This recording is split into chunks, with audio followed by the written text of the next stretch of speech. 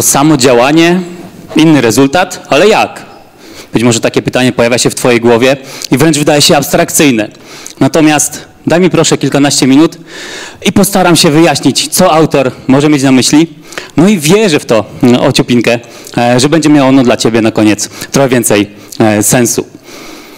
Nie ukrywam, że to wydarzenie jest dla mnie znamienne, ponieważ e,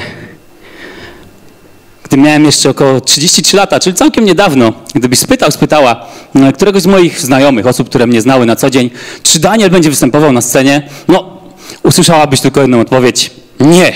I ja byłem wśród tych osób, które potem się zdecydowanie podpisywały. Gdybyś mi powiedział, że ja wyjdę na scenę i będę się tutaj dobrze czuł, no to trochę tak jakby powiedzieć kotu, że będzie lubił pływać. No jak wiemy, takie rzeczy się nie zdarzają. Natomiast jak widać, może jednak.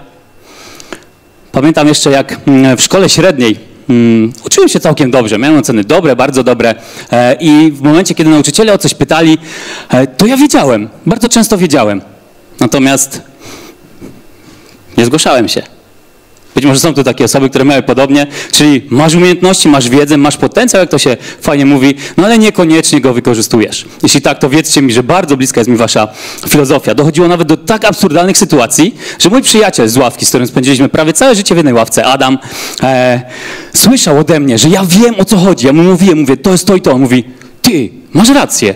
Na co ja odpowiadałem, no, też mi się tak wydaje. On mówi, to co, zgłosisz się? No co ja, hmm, chyba ty. I wtedy on, okej, okay, mogę?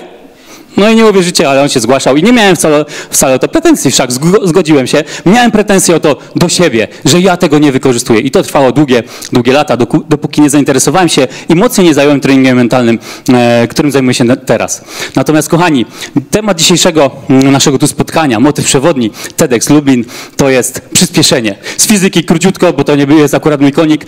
Przyspieszenie e, to e, zmiana prędkości w jednostce czasu. O tym, jak mówiłem, nie będziemy mówić. Natomiast mnie interesuje tak zwane przyspieszenie osobiste. Sam to tak nazwałem, czyli zmiana osiągnięć w jednostce czasu. I być może rozpoznacie na tych zdjęciach, chociaż na niektórych jestem mocno niewyraźny, e, że u mnie to przyspieszenie e, dosyć mocno postąpiło. Kiedy byłem sportowcem, a piłka ręczna, jak tutaj widać na, e, na zdjęciu po lewej, była moją wielką pasją, jak widać pod kątem sportowym, tak zwanym e, technicznym, taktycznym e, i motorycznym byłem dobrze przygotowany, ale brakowało mi tego mentalu. To sprawiło, że zacząłem działać w tym temacie, zacząłem się rozwijać, szukać rozwiązań, no i finalnie dotarłem do Superligi Piłki Ręcznej, czyli najwyższego poziomu e, w naszym kraju. Natomiast zajęło mi to długie 7 lat. W sporcie to jest naprawdę bardzo dużo.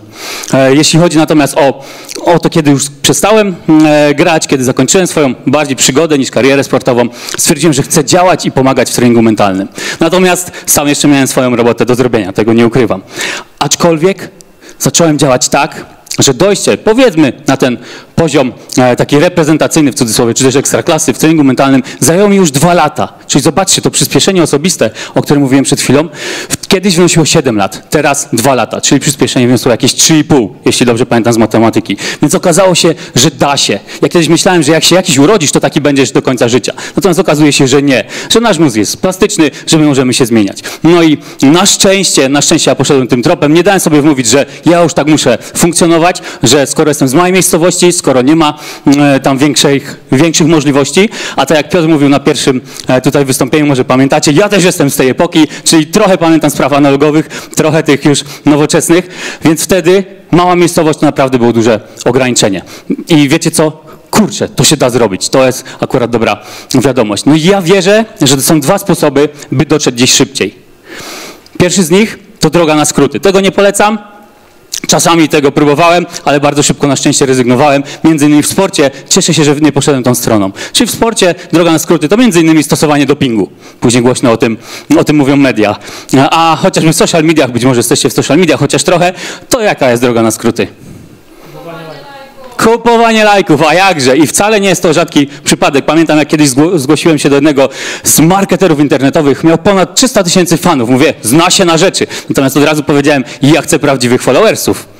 Nie chcę fejkowych. No oczywiście trochę pozakręcał, pięknie to nazwał marketingowo, że lepiej kupić zagranicznych obserwujących niż męczyć się nad normalnymi, bo ludzie patrzą na liczby. Ja stwierdziłem, nie chcę iść tą drogą, absolutnie nie. Natomiast mamy też drugi sposób, wykorzystanie dźwigni, która sprawia, że szybciej przebywamy określoną drogę, czyli robimy albo szybciej kroki, albo robimy większe kroki, albo robimy i szybciej kroki i większe, dzięki czemu niby tą samą drogę czy też ten sam cel osiągamy szybciej. No i kochani, jak to się stało, że ja z chorobliwej nieśmiałości, i tego się absolutnie nie wstydzę, tak to wyglądało, moje poczucie własnej wartości kiedyś wynosiło mniej więcej zero. Jak to się stało, że ja zacząłem występować publicznie? Wierzę, że wpływ na to miało kilka czynników. Po pierwsze, znalazłem moje dlaczego. Jeśli gdzieś tam chociażby przy okazji konferencji TED słyszeliście Simona Sinka, jego why, to właśnie było to, co sprawiło, że ja miałem motywację wewnętrzną, żeby robić. Zresztą sam poczułem tą zmianę, ten progres na sobie. Wierzyłem, że innych też to będzie mogło zainspirować. Po drugie, połączyłem to z moimi wartościami, z tym, czego ja tak naprawdę chcę w życiu, co jest dla mnie istotne. To mi dało też paliwo do tego, żeby działać, żeby działać w sposób autentyczny. Wierzę i staram się to robić e, bardzo mocno. Nie mówię, że w 100% to się da, ale w większości staram się tak działać, bo to mi daje paliwo. Te kupione fej, e, fejkowe e, polubienia, o których tutaj przed chwilą mówiliście, to jest właśnie to. Ja czułem, że to nie jest moje. I tak samo staram się wybierać współpracę. Jeśli gdzieś coś czuję, to wtedy w to idę. I to jest ważne. No ale kolejny i ostatni element, zacznie, żeby zacząć wykorzystywać dźwignię to jest niesamowicie istotne. I o ile w sporcie ja wprawdzie nie poszedłem drogą na skróty, tak jak wam mówiłem, za to jestem, z czego jestem dumny. Natomiast nie wykorzystałem również niestety dźwigni. A czasem mam wrażenie, że wręcz szedłem drogą okrężną. Więc proszę was, nie popełniajcie tego błędu i być może pomogą wam dźwignie, które mi wtedy pomogły. Pierwszą z nich są, uwaga, kontakty. No jeśli obrócicie się w lewo i w prawo, a niektórzy bardziej do tyłu, to to są wartościowe kontakty. Nie takie kontakty jak w Polsce często znane, czyli te tak plecy tak zwane. Nie uważam, że te kontakty mają sens. Natomiast wartościowy kontakt, być może z osobami, które są ambitne, które chcą coś zrobić, które są otwarte, które patrzą do przodu, które mają marzenia, wierzę, że takie kontakty warto nawiązywać. I wiecie co? Mogę się z wami założyć, że w waszym telefonie już teraz jest wartościowy kontakt. Jeśli go przejrzycie, nie teraz, bo na to nie ma czasu, później też będą inni prelegenci jeszcze, ale być może dzisiaj wieczorem albo jutro zajrzycie do waszego telefonu i tam być może jest kontakt, który da wam spełnienie jakiegoś marzenia, zrobienie czegoś niesamowitego, założenie firmy, a może zarobienie fajnych pieniędzy. Tylko przeznaczcie, przeznaczcie proszę na to około 20, może nawet 30 minut. Zaznaczcie dwie, trzy, cztery potencjalne, cenne kontakty i zastanówcie się, jak dotrzeć do nich, ale na zasadzie win-win. Nie panda, czy kolega da, tylko na zasadzie jak my razem możemy coś zrobić. I gwarantuję wam, już to nieraz stosowałem sam albo u moich klientów, to naprawdę świetnie działa. Zresztą kontakt dał mi między innymi pracę, czy to e, ze zwycięstwem Ligi Mistrzów, czy to z kadrami narodowymi. Więc tak to, kochani, działa. Dźwignia numer jeden, kontakty. Jeszcze jeden ważny element, o którym e, pisze e, Angela Duckworth e, w jednej e, ze swoich książek pod tytułem Upór. Dlaczego inni ludzie są tak ważni? Bo zapewniają nieustanną stymulację i wskazówki konieczne, by pogłębiać swoje zamiłowania. A poza tym, co bardziej oczywiste, pozytywne uwagi sprawiają, że czujemy się szczęśliwsi, kompetentni i pewni siebie. I kiedy to ma największe znaczenie? Kiedy zaczynamy z czymś bo wtedy to jest siłą rzeczy, nie jesteśmy jeszcze ekspertami, więc jesteśmy krusi, łatwo nas dotknąć. No być może spotkaliście się z takim zjawiskiem, albo słyszeliście tam lub, tam lub siam, jak krytyka, czy też hejt w internecie. Wtedy najbardziej potrzebujemy tak zwanego, jak ja to mówię, wspierającego środowiska. Tak budujcie swoje otoczenie, żeby tam były osoby, które rzeczywiście was wesprą. Nie na zasadzie, że jesteś zwycięzcą i wszystko będzie cudownie, ale na, na zasadzie, że rzeczywiście dają ci konkretne, wartościowe wsparcie. Ta dźwignia, bardzo mocno w nią wierzę i zresztą jestem przekonany o tym, że nie da się być pozytywną osobą, nie wiadomo jak długo, jeśli wokół otaczają cię maruderzy i osoby, które są wiecznie nastawione negatywnie. Nie jesteś w stanie długofalowo w ten sposób funkcjonować. Kochani, druga dźwignia to E, marka osobista. Być może to zdjęcie tego e, do końca nie oddaje, ale dla mnie marka osobista to jest taki ślad, jaki my odciskamy na życiu innych ludzi. Być może czymś zainspirujemy, być może mamy jakieś umiejętności, być może w jakiś sposób e, damy im wysłuchanie, damy im taką uważność, które są niesamowicie ważne. To jest ślad, który odciskamy w życiu innych ludzi. Nie tylko w social mediach, bo ja wiem, że głównie tak jest odbierana marka osobista. Ja uważam, że niekoniecznie. Zresztą tam ona często no, ma takie nie do końca e, uczciwe e, no, i uczciwy wymiar, natomiast tutaj możemy coś zrobić. I wierzę też w to, o czym mówi Jeff Bezos, twórca Amazona, że marka osobista to to, co mówią o tobie ludzie, kiedy wychodzisz z pokoju. Więc zobaczcie, to też potwierdza, że marka osobista działa w twojej rodzinie, co o tobie mówią, w twoim środowisku, w grupie rówieśniczej, ale też w środowisku pracy. Czy kiedy pojawia się jakiś problem, czy też jakieś wyzwanie, oni myślą w pierwszej kolejności o tobie. Jeśli nie ma takiego tematu, to wierzę, że warto wokół tego zacząć pracować i tą markę osobistą budować, bo marka osobista jest niesamowitą dźwignią. Kolejna e, dźwignia, e, którą chciałem się z Wami podzielić, to pieniądze. Ja wiem, że w Polsce to jest często temat tabu, natomiast pieniądze są naprawdę ogromną dźwignią. Pieniądze dla mnie są, tak naprawdę przyspieszają logistykę w dużej mierze, czyli gdybym chciał z Lublina dostać się na przykład do Hiszpanii, no to mogę to zrobić autobusem. Nie wiem, ile by to zajęło, około 30 godzin pewnie, ale mogę też raczej trochę drożej, trochę więcej zapłacić, ale polecieć samolotem i zrobię to samo w 3, może 4 godziny. Pieniądze przyspieszają logistykę. Pieniądze sprawiają, że możesz kupić czyjąś wiedzę, czyjeś know-how, jeśli chcesz założyć biznes, a nie wiesz, jak się za to zabrać, być może warto rozważyć franczyzę. Albo skorzystać z pomocy mentora, który w danym temacie funkcjonuje i jest w stanie ci pomóc. Skróci on twój, twoją drogę. Być może coś, co normalnie zajmuje 3 lata, to by zajmie dzięki temu rok. To jest niesamowity uzysk, e, uzysk czasu. I jeszcze jedna rzecz, dla mnie niesamowicie ważna, jeśli chodzi o pieniądze i wiem, że ludzie często ją pomijają. Szczególnie w takich czasach jak dzisiaj. Turbulentnych, nie ma się co oszukiwać, dużo się dzieje. E, Natalia Hatalska, znana polska futurolożka, mówi o tym, że my żyjemy w czasach polikryzysu kryzysy społeczne, gospodarcze za naszą granicą, a u was trochę bliżej, bo ja jestem akurat z Polskiego. Wojna, która cały czas trwa. No my żyjemy, te kryzysy się na siebie nakładają. To nie, to nie jest tak, że to nie będzie miało na nas wpływu. Natomiast jakaś, być może poduszka finansowa, być może, e, nie, y, być może jakiś poziom niezależności finansowej, a daj Boże i tego życzę nam wszystkim. Wolność finansowa sprawia, że mamy dużo więcej spokoju w sobie, dużo większe poczucie bezpieczeństwa i stabilności i też jakby większą przestrzeń na decyzje. Nie musimy reagować od razu. Na przykład jak stracisz pracę, a masz odłożone pieniądze, to nie musisz brać pierwszej lepszej. Daje to niesamowity uzysk, jeśli chodzi o spokój, którego nie oszukujmy się, w dzisiejszych czasach często brakuje. Także dźwignia numer 3 pieniądze, która, już trochę o tym wspominałem, na przykład pozwala kupić dźwignię numer 4 wiedzę od mentorów. Czy to online, czy to e, jeden na jeden, na żywo, czyli ta droga mocno, ale to mocno się skraca. Tak jak wspominałem e, i, i też jak byłem zapowiadany, ja pracuję z Jakubem od 8 lat i wiem, że ten kontakt dał mi niesamowitą dźwignię. I teraz tak samo, jak się uczę z różnych elementów, chociażby marketingu internetowego, to szukam mentorów, bo ja nie jestem w stanie tej wiedzy ogarnąć. Zresztą nowe technologie, sztuczna inteligencja sprawiają, że jest mnóstwo, mnóstwo wiedzy. Nie jesteśmy w stanie jej sami przetworzyć. Weź mentora, który nie tylko ma wiedzę, to już to było kilka razy wspomniane, ale powtórzę jeszcze raz. Informacja, moim zdaniem, w dzisiejszych czasach mocno straciła na wartości. Nie chcę powiedzieć, że jest w ogóle bezwartościowa, ale mocno straciła na wartości. Wartość ma wiedza i doświadczenie, które to robią. Te same słowa, jeśli usłyszysz od osoby, która dopiero zaczyna, lub od kogoś, kto się zna, kto już osiąga sukcesy, na przykład rozwija biznes, całkiem inaczej do ciebie trafią e, właśnie przez to, e, że ktoś ma już to doświadczenie. Kupujcie, jeśli już, i szukajcie doświadczenia, a nie tylko informacji. I ostatni, ostatnia dźwignia, ostatni element to prostota. To właśnie upraszczanie. Ja wierzę, że w dzisiejszych czasach dużo rzeczy, dużo, e, bardzo często mniej znaczy więcej, a więcej wcale, wcale nie znaczy lepiej.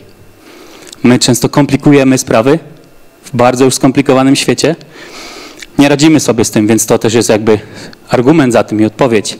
Ale jednocześnie zobaczcie, my gdzieś tam nauczyliśmy się, że, że trzeba komplikować komplikujemy proste sprawy, a czasem trzeba coś po prostu zrobić, po prostu wykonać. Na przykład te proste wydawałoby się dźwignie. Natomiast pytanie, czy my rzeczywiście je wykonamy i wykorzystamy, czy bardziej na zasadzie, no ma to sens i nic z tym nie zrobię. Tak jak chociażby w tym pierwszym pytaniu, bardzo Was do tego zachęcam. Ono naprawdę może dużo zmienić. Poszukaj w swoim telefonie wartościowych kontaktów i zadziałaj w tym kierunku, żeby się z taką osobą skontaktować. Najwyżej nie wyjdzie, no to stracicie godzinę na dobrą kawę i ciasto. That's all, ale może wyjść z tego coś naprawdę, naprawdę wartościowego. Prostota. Jak to powiedziała jedna z mądrych głów, zrób coś na tyle proste, na ile to możliwe, ale nie prostsze. Że to też nie chodzi o to, I, i, pięknie w swoim wystąpieniu Dorota o tym mówiła, żeby wiecie, jak nie mam wiedzy, no to wszystko jest dla mnie proste, nie? W firmie nie idzie, to ją zamknij. Nie w tym rzecz, nie upraszczajmy aż tak, ale niech te rozwiązania nie są nadmiernie komplikowane. Wtedy będziemy mieli więcej przestrzeni, by działać. No i to jest pięć dźwigni, które Wam mocno polecam, ale na koniec daję Wam jeszcze szóstą dźwignię, w którą bardzo mocno wierzę. To e, tą szóstą dźwignią jest, uwaga, nasz mental, nasza, e, nasza głowa, mówiąc tak bardzo ogólnie, to co się tam dzieje, nasze myśli i przede wszystkim emocje, jak nimi zarządzamy, bo wtedy też sprawimy, że uwaga, możemy lepiej naszą, na, wykorzystać naszą wiedzę i umiejętności, ale też przede wszystkim skorzystamy z tych dźwigni. Nasz mental jest niesamowicie ważny, a ja wierzę, że najważniejszym składnikiem naszego mentalu jest pewność co do siebie. To nie jest błąd. Nie tylko pewność siebie, taka, że jesteś liderem, idziesz po prostu e, przed siebie i wszyscy inni za tobą, ale pewność co do siebie, pewność bycia sobą. Tego, jaki jesteś, co jest dla ciebie najważniejsze, jakie są twoje cele, jakie są twoje pragnienia. I wtedy pojawia się odwaga do bycia sobą. Do tego, żeby działać taki, jaki jestem i być tym autentycznym, jakkolwiek e, przez was nie jest to, pojmo, nie jest to pojmowane. Jeśli Archimedes powiedział, że dajcie mi odpowiednio długą dźwignię i punkt odparcia, a poruszę ziemię, to ja wierzę, że my wcale nie musimy poruszyć ziemi, to po pierwsze. Wystarczy, że poruszymy nasz świat, a po drugie, ta pewność co do siebie jest właśnie tym punktem podparcia, dzięki któremu możemy zrobić naprawdę, naprawdę niesamowite rzeczy. Takie, które poruszą serducho. Nie wiem, czy świat to doceni. Abstrahując od tego, takie, które poruszą serducho. Mocno w to wierzę. No i wracając do mojego pytania z początku. Czy to samo działanie da inny rezultat? Wierzę, że tak, pod jednym warunkiem że włączymy to świadomą pracę nad naszym mentalem, nad naszym nastawieniem. Ten trening mentalny, którym ja się zajmuję, to jest właśnie intencyjne, celowe działanie po to, żeby myśleć trochę lepiej. Gdybyście mi powiedzieli, że mam przebiec 5, 5 kilometrów, to najpierw bym się bardzo zdenerwował, bo choć kiedyś byłem sportowcem, nie cierpiałem biegać nigdy, pewnie dlatego wylądowałem na bramce. No ale przebiegłbym jakoś tych 5 kilometrów. No nie jest to aż taka tragedia. Czas nie byłby najlepszy, zrobiłbym to, żeby pokazać wam, o, potrafi jeszcze. Natomiast gdyby od tego zależało moje życie, albo jakieś moje wielkie marzenie, żeby przebiec tych 5 kilometrów, to jednak to nastawienie byłoby inne. Biegłbym co sił w nogach i tchu w płucach, po prostu, żeby to tylko, żeby to tylko zrobić najlepiej jak potrafię. W tym sensie to samo działanie, biegnięcie, specjalnie użyłem tutaj e, czasownika, e, żeby to było czynne, że to jest moje działanie, a nie bieg, z innym nastawieniem, za karę albo po to, żeby zrobić coś, na czym mi naprawdę zależy, da inny rezultat w formie wyniku, który będzie mnie interesował, który będzie dużo lepszy niż wtedy, kiedy to zrobię, po prostu byle jak. I kochani, już kończąc, e, czy ktoś wie, co to może być, co to za kropki tutaj się pojawiły? Być może w prawym dolnym rogu będziecie mieli małą podpowiedź. To jest średnia życia, zgodnie z danymi Eurostatu na 2023 24 jeszcze trwa. Średnia życia Polaków 78,6 roku. 78,6 lat, tyle średnio żyjemy. Wy panie troszkę dłużej, nie wiem czy to lepiej czy gorzej, my panowie trochę krócej. E, to było pierwsze pytanie, a drugie zielona kropka, jak myślicie, czym ona jest? Punktem odniesienia, to jest połowa mniej więcej tego wieku, a dla mnie ma e, jeszcze drugie znaczenie. E, za półtorej miesiąca właśnie zakoloruję tą kropkę u siebie, więc e, no jakby patrzeć statystycznie, jestem w kryzysie, czy za chwilę mogę być w kryzysie wieku średniego i w połowie, w kryzysie połowy życia, jak to się często mówi. Ale kochani, do czego, y, do czego was jeszcze zachęcam? Widzę tu sporo młodych osób, część w moim wieku, więc troszeczkę starszych. Każdy z nas ma podobną ilość czasu. Wcale nie mamy go tak dużo. Ja jeszcze wczoraj myślałem, że mam 25 lat. Dzisiaj się okazuje, że za chwilę mam 40. Nie wiem, jak to leci, nie wiem, jak to działa. Natomiast szczególnie do tych młodych, jeśli wam na czymś zależy, jeśli czujecie, że chcecie coś zrobić, to wtedy jest najlepszy czas. No bo kiedy ryzykować? Jak nie wtedy, kiedy jeszcze prawdopodobnie nie macie kredytu hipotecznego, o ile dostaniecie?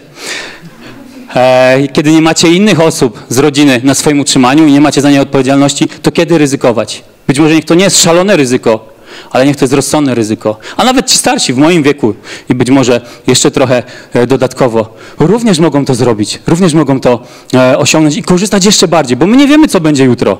Czasy są niepewne, ale niech to nie jest negatywną informacją dla Was, tylko mega pozytywną, żeby wykorzystać jak najlepiej ten czas, który mamy.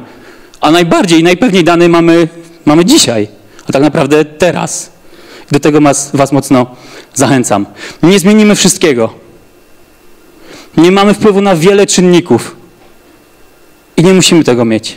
Nie musisz zrobić i zdobyć wszystkiego. Wystarczy, że zrobisz coś, co wszystko zmieni. Jestem przekonany, że takim elementem jest właśnie nastawienie. Bardzo dziękuję, trzymam za Was kciuki i życzę wysokich lotów.